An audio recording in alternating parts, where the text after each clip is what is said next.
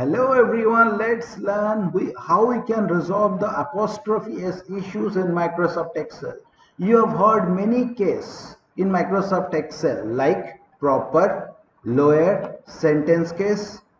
In that way, if you use over here, take an example here I have used the proper case. You can already have a look proper and given a specific cell or the text where it is so that it can convert to the proper. But here you can see it easily just because it has been written wrong proper case. It means it considered the first letter should be capital and at the same time any word which has been started should be the first letter should in capital.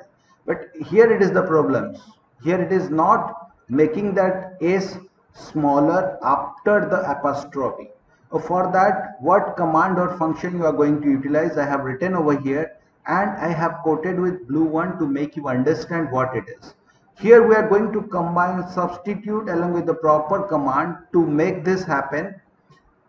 Here what it does, substitute function required three arguments. First one is what you want to substitute substitutes.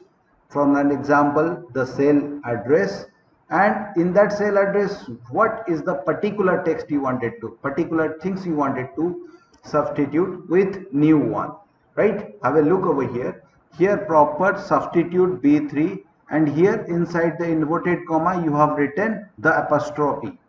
Right? It is actually substitute the apostrophe with x q z x. Right? In the first one and make everyone proper. But at the same time another substitute whatever the result will be there it will substitute with the another three arguments as i said before qzx whatever you have converted over here again you substitute with the apostrophe s to make it fix the issues right? So let us write this proper command over here and see it is working or not.